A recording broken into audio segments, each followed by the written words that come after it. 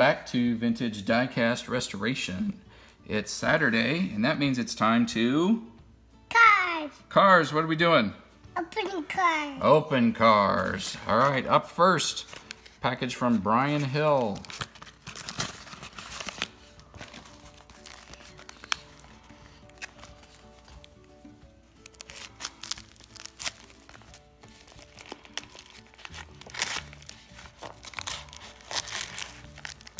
Nice harder couple cars with that knife. Yeah, you gotta be careful. That's why Dad does this part, right?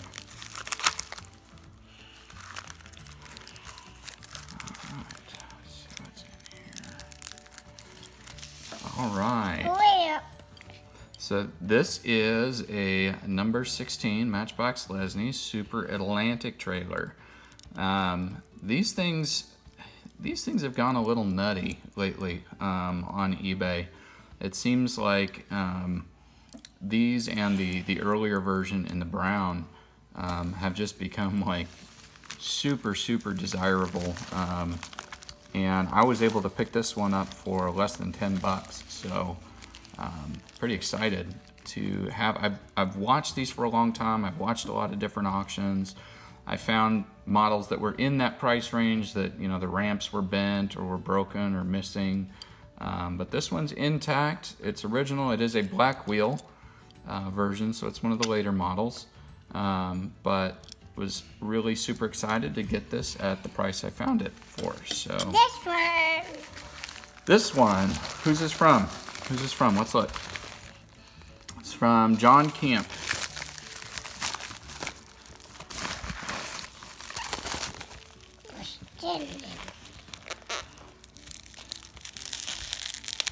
You get it? Here. Get through that tape.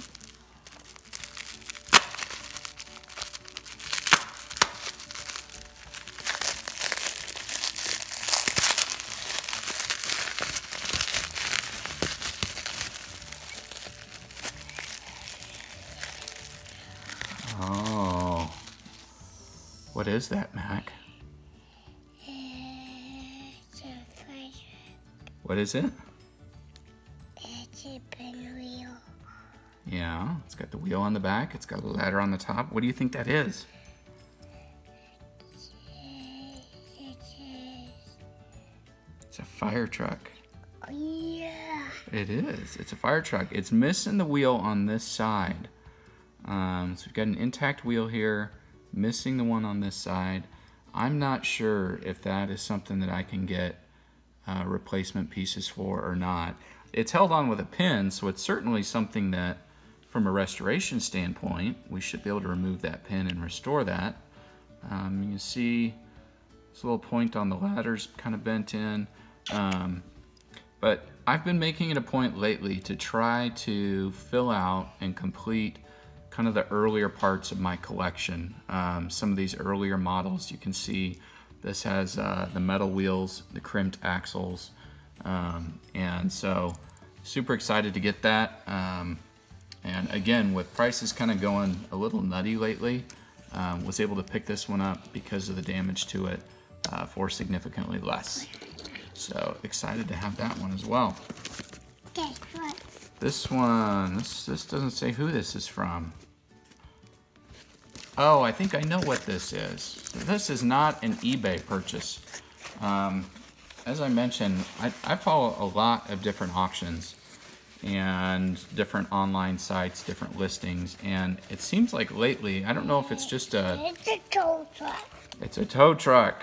I don't know if it's an influx of just new people that are starting to collect that don't have a handle on kind of what reasonable prices are, but um, prices on eBay have gotten absolutely insane.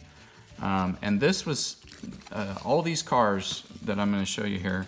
These came um, from a, another collector uh, on one of the Facebook groups, one of the Facebook pages, and I paid three dollars a car for these, um, which is a, I think a very reasonable price um, for any of the the later series models.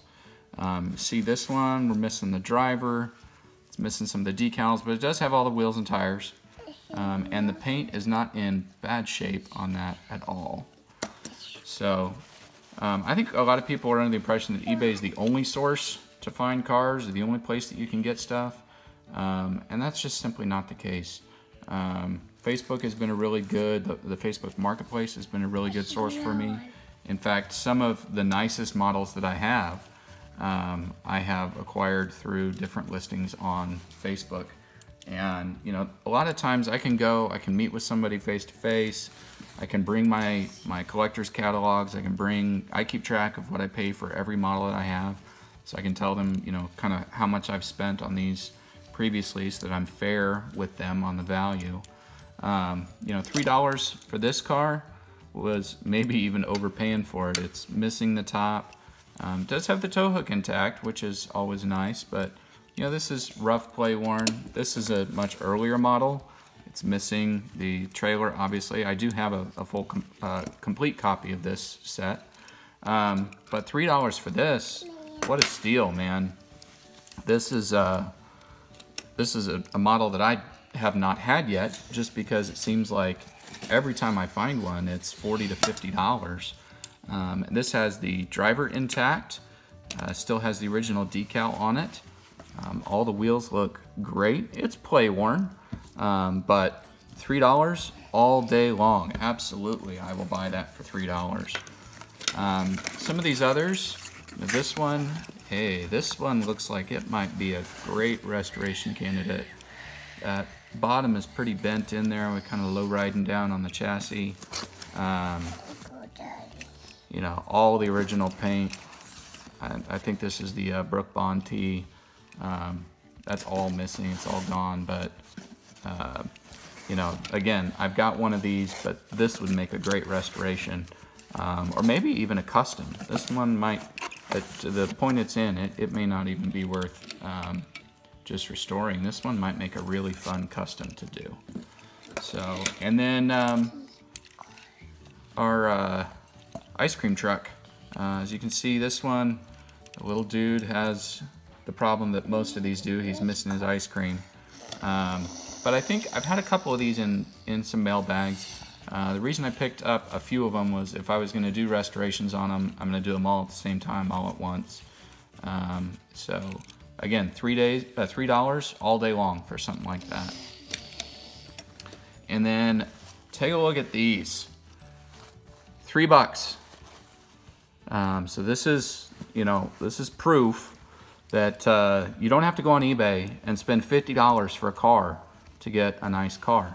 Um, this is near mint, very slight, you know, playware pieces in there. Beautiful original decal, uh, intact, a little nick down there on the front. Um, the red interior, yellow. Most of the wheels and tires on this are actually even pretty tight. Um, $3 all day long. I will buy that car for three bucks. I've got another one of the race cars. We've got almost almost a complete set there. Um, we've got the Mini, the uh, MG 1100. These things, I've got a soft spot developing for these. Um, I've got far too many of them in my collection, but it seems like every time I find a grouping um, where I'm, I'm buying a whole bunch of models at the same time. There's always one of these included. And this one's perfect. I mean, tow hook's intact. There's not a scratch on that paint. It That's not play worn at all. Got no oxidation on the base. The glass is intact. Um, that is a beautiful, beautiful example of that car.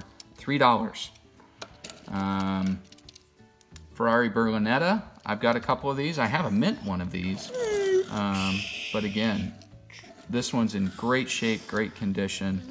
Um, for three bucks, I'm not gonna leave that on the table.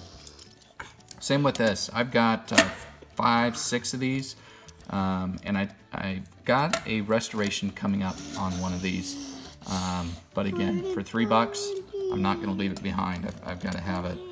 And then super excited about this one, the field car. I have uh, several different ones of these.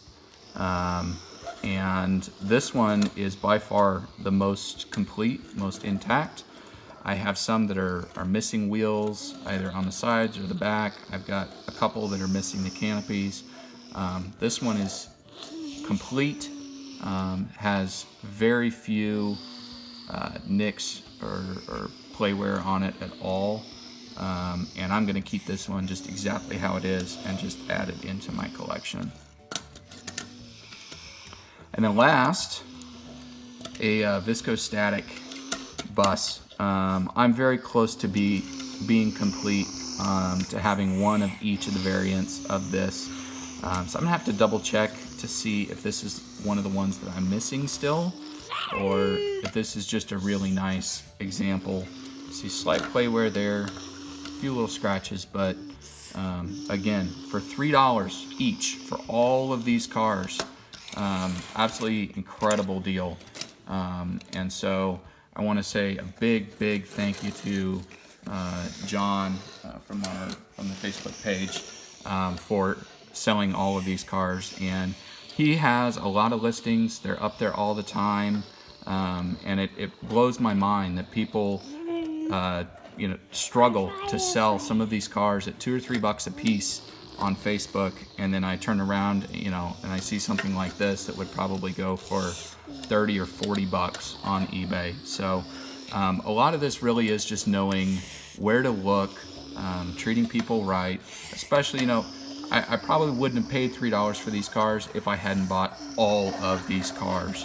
Um, and you know shipping everything I think it was less than 50 bucks for this entire lot. I mean, if, if we look here, I got one, two, three, four, five, six, seven, eight, nine, 10, 11, 12, 13, 14 cars. Um, so $45 plus shipping. I, I think I actually paid like $47 for this entire lot here. So there are still good deals to be found.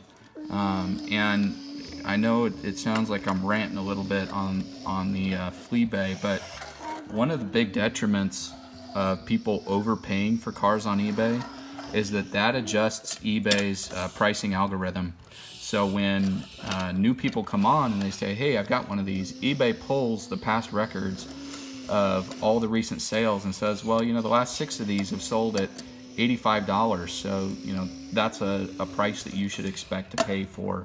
a model like this.